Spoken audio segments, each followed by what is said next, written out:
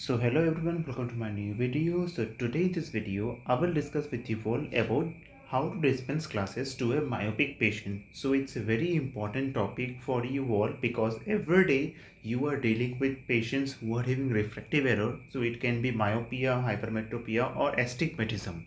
So this is the dispensing series that I started where I will discuss each and everything about how to dispense glasses to a myopic patient, hypermetropic patient or astigmatism patient as well as who patients who are having presbyopia. What are those things that you need to keep in mind while dispensing glasses to those patients? So this video will be dedicated only to the myopic patient glass dispensing. Okay, so let's start. So here myopia is that type of refractive error where the parallel rays of light which are coming from infinity after getting refracted by the cornea and lens will get focus in front of the retina instead of focusing on the retina. So that's why the patient feel difficulty to see the distant object clearly but they can see quite near clearly. Okay, so that is myopia. So in myopia, accommodation having no role. If you active your accommodation, then you will see if you are a myopic patient and you are using your accommodation, you will see more blurry. So that's why there is no role for accommodation. Now there is several ways to treat myopia like you can give spectacle glasses, contact lenses, surgery like LASIK or PRK as well as in case of high myopic patient we can also do clear lens extraction something like that. But the most commonest way to treat myopia is by giving spectacle glasses to the patient, right? So spectacle is a non-surgical uh, way of managing the myopia properly, okay? So uh, whenever you are giving glasses to the patient and you are trying to correct a myopic patient, you need to give concave lenses to the myopic patient, right? So this concave lens is thinner in the center and thick in the periphery. So this thing creates some kind of uh, trouble to the patient to adapt this thing properly. So that's I'm going to discuss how to deal with this kind of conditions. So here these are the challenges that you will feel or you will face whenever you are dispensing lenses to a myopic patient. First, you need to reduce the lens thickness. Second, you need to reduce the lens weight. And third is you need to reduce the lens reflection. Then fourth, you need to reduce the lens aberration. Then you need to improve the lens cosmetic look as well as uh, you need to have uh, make sure that the lens is fitting perfectly on the patient face. All these things you need to keep in mind while you are dispensing glasses to a myopic patient. Okay. So first, first let's start with the lens thickness. So remember this thing that select a smaller frame size to minimize the edge thickness of minus lens okay? Then select a frame that looks symmetrical in both sides like square shape round shape oval shape. But don't select supra frame or rimless frame because if you select supra frame and if the patient is high myopic then uh, the edge or periphery the thickness will be more exposed. So it will it will give the look that the lens is very thick. But uh, apart from that if you select a plastic frame which is a square shape uh, that then the a uh, uh, eyewear can hide the lens thickness properly. So that's why the lens thickness will not that much looking big there. Oh okay. And also you need to select a smaller frame size okay?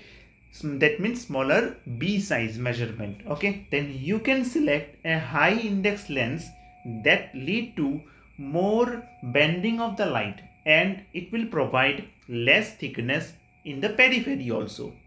You can select aspheric lens design for myopic patients okay? And also the lens edge thickness should uh, distribute equally in front and back prior uh, back portion of the eyewear okay?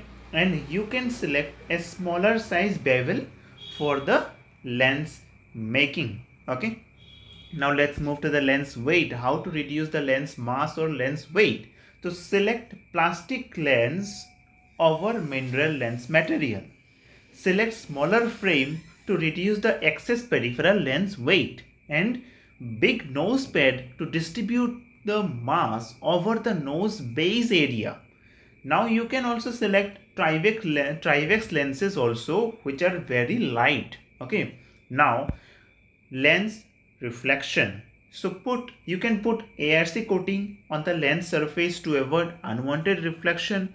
You can alter the pantoscopic tilt of the uh, spectacle lens uh, frame to reduce the surface reflection as well as select organic lens material over the mineral material. Okay? Now how to reduce the lens aberration?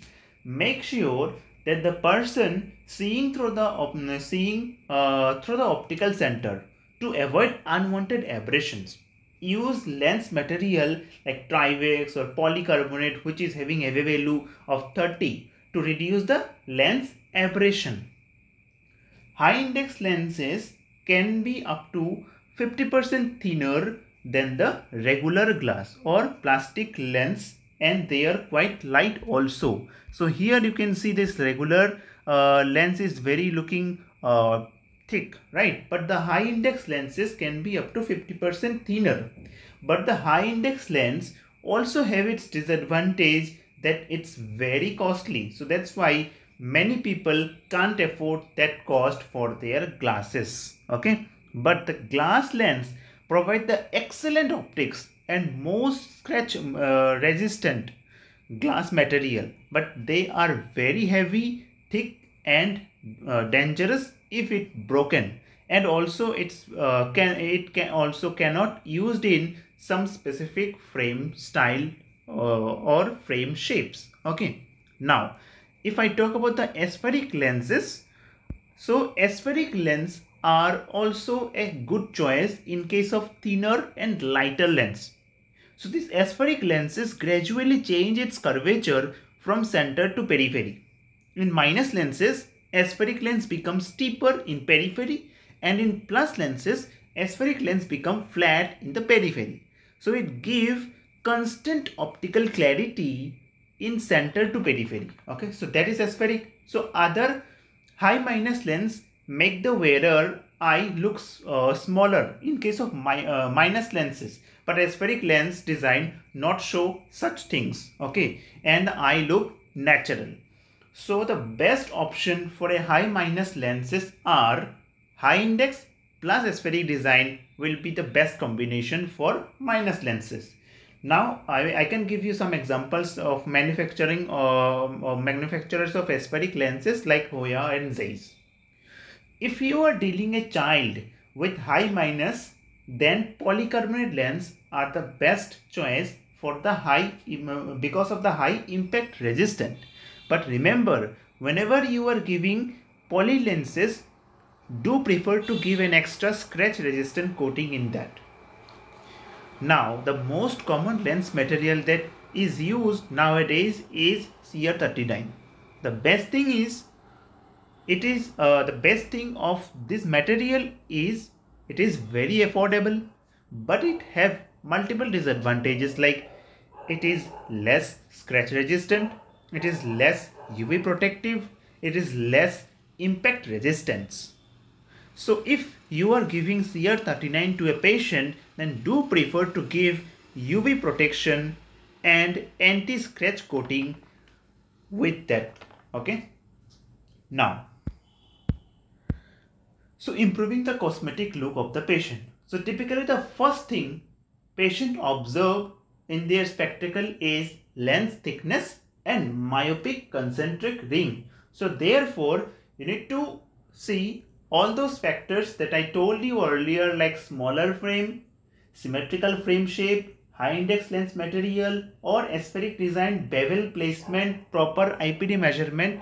All these things are very much important to uh, improve the cosmetic look as well as if uh, you are putting extra ARC coating over the lenses then eyes are looking very natural and it will show un uh, it, it will reduce the unwanted reflections. So the cosmetically eyes will look more beautiful. Okay?